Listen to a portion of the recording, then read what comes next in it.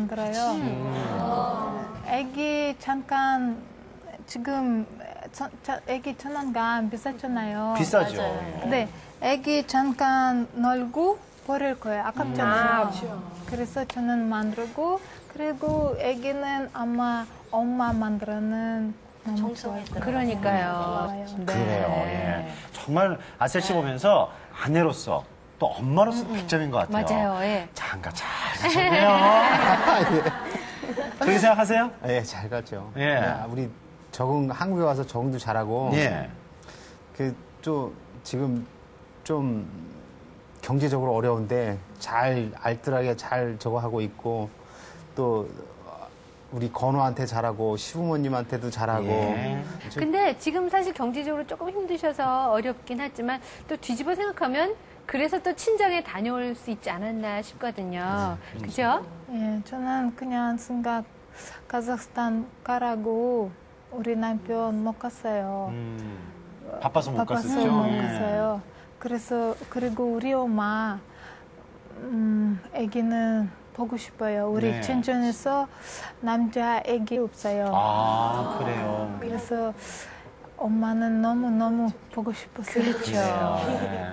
남편에게도 이번 처간 아들이 아주 특별한 의미가 있다면서요. 예, 그렇죠.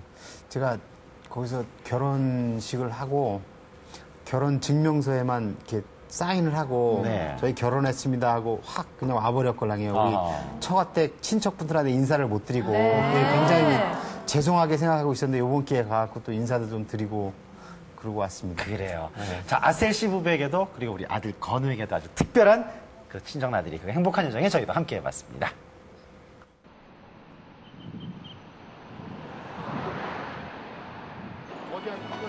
결혼 후 첫 카자흐스탄 나들이길 부부의 걸음에 설렘이 묻어난다. 조금 조금 좀 하셨어요. 아니 저는 꿈이 카자흐스탄 벌써 봤어요. 꿈에도 그리던 고향. 카자흐스탄까지는 하늘길로 7시간. 친정 발라슈까진 다시 차로 10시간을 달려야 하는 먼 길.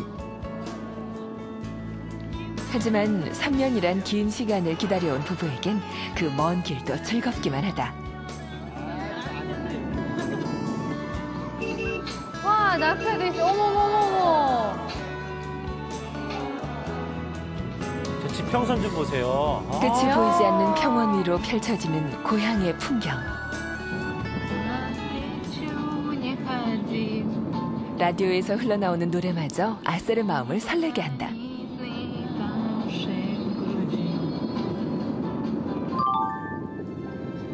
그 시각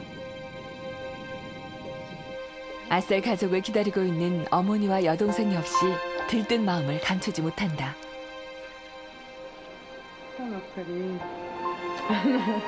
아셀이 보고플 때면 늘 꺼내보던 사진도 오늘은 새롭기만 하다. 네 살이 되도록 말문이 트이지 않아 애를 태웠던 아셀.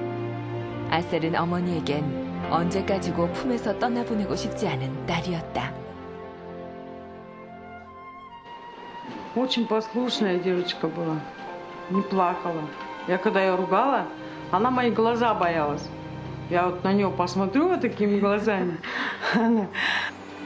Я очень скучаю. Хочу ее увидеть.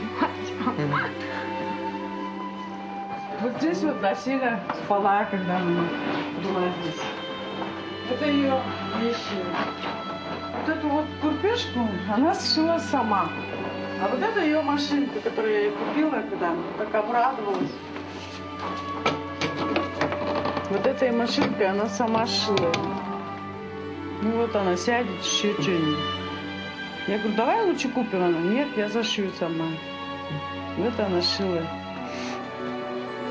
Я хочу ее крепко-крепко, сильно обнять, никуда не отпускать.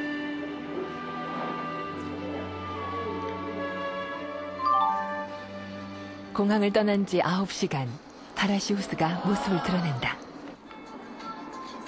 남편도 아이도 모두 곤히 잠들었지만 아셀은 좀처럼 눈을 감지 못한다.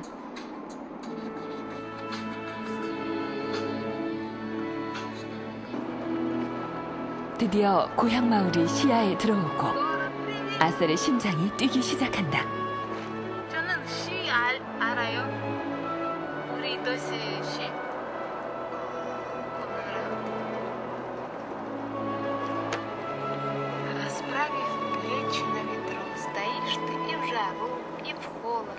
я приветливо смотрю в твои глаза. Балхаш, мой город, как берега твои седы, и сколько тайн хранится им из дня 아셀의 마음속 가장 큰 보물로 자리하고 있을 그곳. 아셀은 말조차 잊은 채 눈으로 친정을 쫓기에 바쁘다. 이내 걸음을 서두르는 아셀.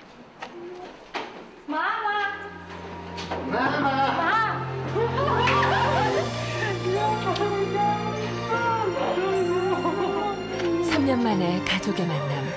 그간의 그리움을 모두 담아 가족은 힘껏 서로를 부둥켜 안는다. 그새 몰라보게 성숙해진 동생이 놀랍기만 한 아셀.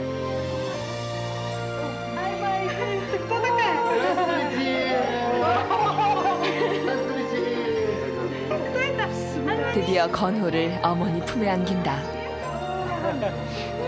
외할머니의 품이 낯설지 않은 듯 뽀뽀로 인사를 하는 건호. 외삼촌과도 반갑게 인사를 나눈다. 언제까지고 계속될 것 같은 만남의 기쁨. 그런데 아셀의 눈에 어머니의 상처가 들어온다. Все проходит, происшествие все.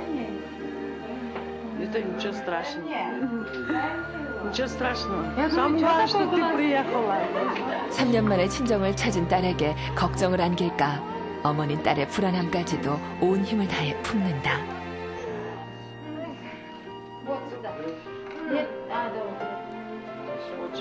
아셀이 한국에서 챙겨온 선물 꾸러미를 푼다.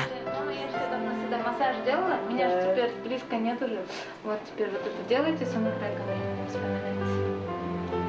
자, 어머니를 위해 준비한 마사지 기계. 반응이 좋다. 저는 이거 가져왔어요, 한국에서. 이거 아마도 확실히. 동생 다이어트에 위해서. 다이어트로 고민하는 동생에겐 플러프. 동생도 만족한 눈치다. Вообще не верится, как сон. Даже не верится. Столько ждала. Вот радость никогда не, не передашь, что она здесь. Ощущение такое большое-большое, радостное, сердце вот так вот. Я, ну, всё. Наконец-то я свою дочь увидела. 짐을 풀자마자 외출에 나선 아셀 부부. 거리엔 부부의 연애 시절 달콤했던 추억이 가득하다. Когда 일 끝나면 어, 일 끝나면 맨날 여기 와서 데이트했지?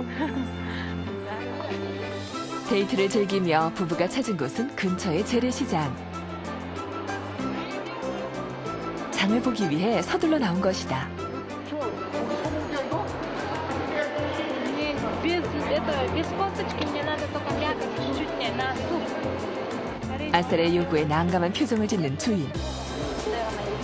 이거 하나 사갖고 그냥 저거 한번 잘라갖고 쓰면 되잖아. 밥이 조금만 들어가도 돼. 아니 부야 필요 없어요, 부야. 아, 따내시나 필요 없지, 그럼. 그럼 버리면 되지, 그럼. 저는 부야 거의 사지 말고 이거 돼. 사람들이 그게 되냐? 고향에서도 어김없이 발휘되는 아셀의 못 말리는 알뜰함. 결국 뼈 없는 고기를 사고야 만다. 대단해요. 주인 아주머니가 꼭 언짢아하시는 것 같은데. 그녀가 끓이겠다던 한국식 국은 바로 미역국. 아. 그녀가 미역국을 끓인 데는 특별한 이유가 있다. 저는 그동안 뭐 이거 생일로만 못 자랐어요. 그래서 지금 저는 여기 있을 때요. 그래서 같이 건화 아빠는 같이 미역국 만들, 만들었어요. 남편 영민 씨 역시 마음을 보탠다. 영민 씨가 준비한 것은 김밥. 그 역시 사위 노릇을 다하지 못했기에 정성을 다한다. 아셀 부부의 마음이 가득 담긴 한국식 생일상이 완성됐다.